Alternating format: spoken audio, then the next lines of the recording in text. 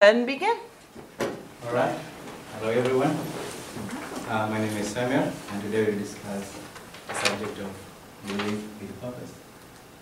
Robert, uh, Robert Bain, an American author, said that the purpose of life is a life of purpose.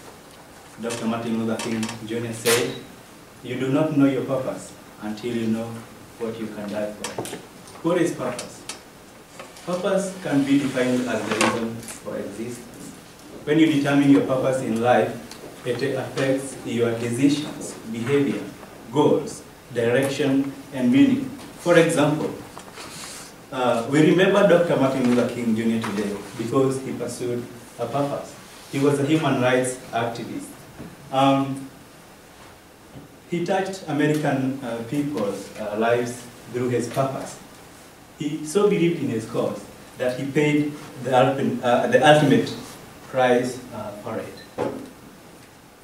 Um, the reason why we are all here in school is number one, we want to make it in life, right? Woo! number two, to self-actualize, or in, a, in other words, um, to reach the highest potential of yourself.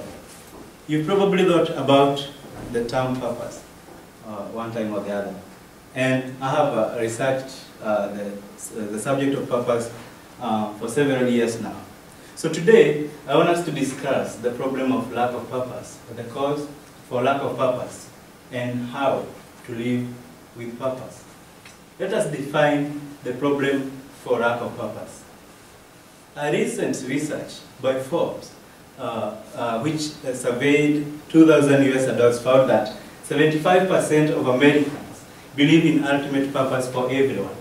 In the same survey, 50% of Americans are looking for purpose. To live with purpose means to go beyond just surviving or existing. It is the moment you decide to act on behalf of others or for the sake of others in order uh, to change the, uh, the situation from is to what it ought to be. Let us look at the causes for lack of purpose. The main cause for lack of purpose is the hardship of life and desire to survive. For example, because of scarcity of uh, resources in the world, many people make pursuit of money their primary goal in life. Abraham Maslow, uh, the author of the book, The Theory of Human Motivation, explained this concept very well in what is famously referred to as uh, the Maslow's hierarchy of needs. According to Ma uh, Maslow, human needs are met starting with the most basic ones. For example, when a human being is hungry out of, of scarcity, you've probably not been there yet. When a human being is hungry out of scarcity, they think about food. I mean, uh, when a human being uh, is hungry out of scarcity, they think about food. They dream about food. They don't care about safety or love or self-esteem. However, when the problem of food is saved, is solved, the human being will try to go to the next level of the hierarchy, which is safety. Once the problem of uh, safety is solved, the human being will tend to go to the next level, and so on and so forth. And therefore, you can see why it is so hard, or why it is hard for so many people to uh, automatically think about purpose. Because you have to, first of all, fulfill all these needs, which are referred to as the deficiency needs, and to start to think about purpose. Let us look at the solution for lack of purpose. The solution for lack of purpose is having knowledge. The reason why Maslow's hierarchy of needs applies in our life is because we are unconscious about it. Maslow's hierarchy of need, hierarchy of needs is the default setting for a human mind. You can overrule its consequences by being knowledgeable and by living consciously. Let us look at uh, some of the things you can do in order to prepare yourself for purpose. Number one, investigate yourself. Know who you are. Sagur Van Der, uh, can tell uh, it's hard to read. It's an Indian name. So, so Guru Vandar, uh, Indian author say, the quality of your life is determined by the knowledge of yourself. If you live without a knowledge of yourself, it is like living aimlessly or randomly. It is like operating a computer without computer skills.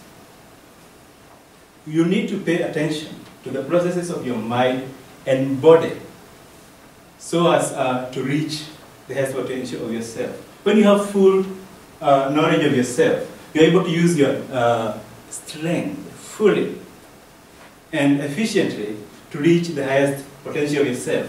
Number two, set your standards and values as a human being. This is your personality. This is uh, your integrity. These are the, the things in your life that cannot be violated. Number three, live with intention.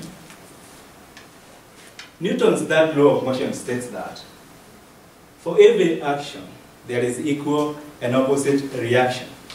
This is relevant because it means uh, then that um, for everything that you do in life, you'll find a consequence. It is important, therefore, to watch your steps, to make sure that um, you have a, a goal in mind before you do anything. Every action of, your, of yourself should be determined uh, by your a trajectory to your higher purpose. Number four, have a growth mindset. Carol S. Dweck, an American author of the book Mindsets, said that human intelligence is not fixed.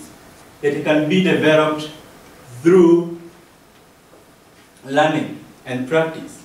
This is important because many people fail to pursue a purpose because they feel inadequate. So, uh, therefore, um, human, the power of a human being is determined. Uh, the power of a human be being is uh, determined by the quality and the quantity of information in his brain. This means, therefore, when you have a growth mindset, you can be able, uh, you are aware that you can grow your intelligence to the level of need. What, therefore, what this means, therefore, is that you can choose any purpose in the world and pursue it with the knowledge that you can uh, develop your intelligence to the highest of need. It is therefore important to state that your purpose is your choice. Conclusion. The purpose of life can be defined as the, um, uh, the purpose of, of your life is a definition of who you are. It defines your decisions, behavior, uh, goals, and meaning. It follows, therefore, when you do not have a purpose, you do uh, not have a, a sense of direction or meaning. I urge you, therefore, to pursue a, a, purpose because your purpose is a gift to the world. Thank you. Thank you. Watch out, Tony Robbins.